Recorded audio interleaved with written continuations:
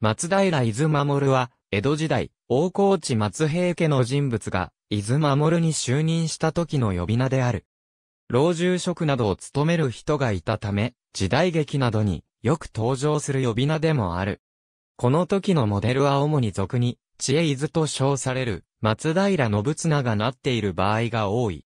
豊橋市の豊橋祭りの行列の松平伊豆守は、上述の知恵伊豆ではなく、知恵伊豆の子孫の小知恵伊豆と称された、松平信明である。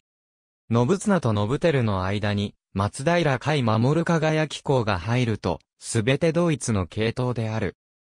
松平伊豆守信綱、武蔵国忍藩、武蔵国川越藩、松平伊豆守信照、武蔵国川越藩、下宇佐国古賀藩、松平伊豆出身宿下宇佐国古賀藩、三河国吉田藩、東都海国浜松藩、松平伊豆出身また東都海国浜松藩、三河国吉田藩、松平伊豆出身霊三河国吉田藩、松平伊豆守の部秋。三河国吉田藩、松平伊豆守新順三河国吉田藩、松平伊豆出身だから三河国吉田藩、松平伊豆出身明三河国吉田藩、松平伊豆出身子三河国吉田藩、松平伊豆守家の菩提寺は、平林寺であった。知恵伊豆こと、松平信綱は、家光の時代をモデルにした時代劇によく登場する。